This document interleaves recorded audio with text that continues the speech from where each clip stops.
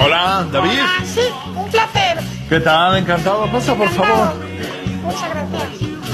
¿Qué tal? ¿Qué tal, David? Hola. David, ¿qué te, qué te- qué te ocurre en la voz? ¿Tienes al, al- Sí, bueno, es una patología poco frecuente en los hombres. Eh, se llama puerfonía o falsete mutacional. Sí. Y a mí me tocó la lotería, porque es un- uno de cada 300 o 400 mil hombres. Sí. Y me tocó a mí, me podía haber tocado la bonoloto. ¿Y esto a la hora de encontrar pareja y relacionarte, intentar buscar el amor, te afecta? Sí, sí, claro. Sí afecta, pero. Pero. mm, Encuentra uno sus recursos para estar con personas y. y no tener Ah. problemas de, de ¿Qué- qué- sociabilidad. Eh, ¿Qué estás buscando esta noche en First Days? ¿Qué, qué tipo de... ¿Buscas chico, chica? No me considero bisexual, pero si me enamoro o me gusta una persona, puedo estar con un chico o con una chica. Entonces, la gente me dice, ¿eres bisexual? Digo, bueno, Pero yo no que me es considero bi- enamorarte, tener una relación de pareja. Una aventura. Te quiero enseñar una cosa, a ver qué te Sí. parece y me das tu opinión. Dime. ¿Preparado? Sí. Sorpresa.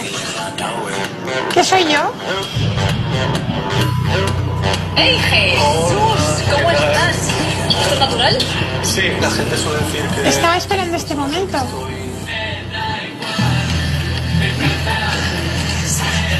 ¿Qué tal, amigo? Muy buenas. ¿Qué tal? Muy buena, Bienvenido. Lidia. ¿Cómo Un estás? placer conocerte. Igualmente, un placer. tras de esta apariencia que parece que somos Aunque me veas sonriendo, no te estoy vacilando, Carlos. está más solo que la una. Bueno, o sea que eres eh, Abilio, eres Jesús, eres Pedro, eres David. ¿Quién eres realmente? Jesús, Jesús. ¿Y qué te pasa, Jesús? pues mm, no lo sé. Cuatro veces aquí engañándonos, que el problema no es que nos engañes a nosotros, que eso no va a ningún sitio. El problema es que la gente que viene a citarse contigo viene buscando el amor de verdad y está intentando tener una cena, enamorarse y los has engañado a todos. Eh, ¿A qué vienes exactamente? No sabría explicarte, la verdad. Lo hago por instinto. ¿Pero eres actor? ¿Te dedicas a interpretar? ¿Estás No, es- buscando un papel en la Royal Shakespeare Company? ¿Qué, qué- qué- qué buscas? No, no lo entendemos.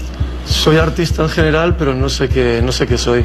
Y quieres no actor, a quién cantante. lo que eres, porque esto luego se lo enseñas a alguien, a tu no, profe de no, no, interpretación, no, a tu familia, a tus amigos. De hecho, no lo, lo he casa. publicado nunca en ningún sitio ni lo enseño a nadie. Por lo menos el problema de la voz se le solucionó, ¿no? Sí, ipso facto. Bueno, tú te das cuenta de que has jugado con el prestigio de First Days, que nosotros estamos aquí no para hacer tonterías.